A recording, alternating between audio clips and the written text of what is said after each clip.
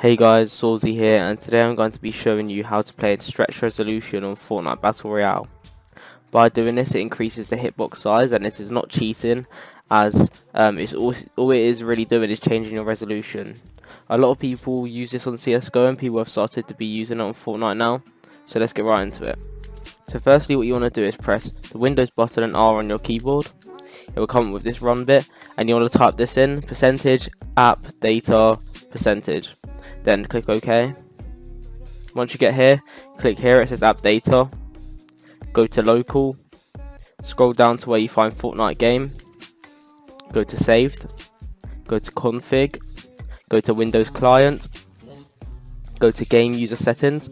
If uh, you want to check, go to properties and check uh, that it's not read only. If it is, uncheck it and then apply. Then click click cross.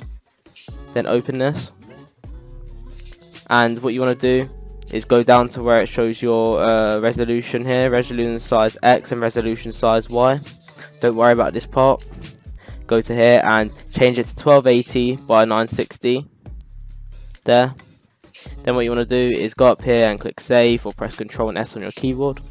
Once you've done that right click on it go to properties go to read only check it apply. Once you've done that open Fortnite Right, so once you are on Fortnite, it should be stretched like this. So everything should look wider. Right, so let's go to Battle Royale. Or Save the World, whatever you play.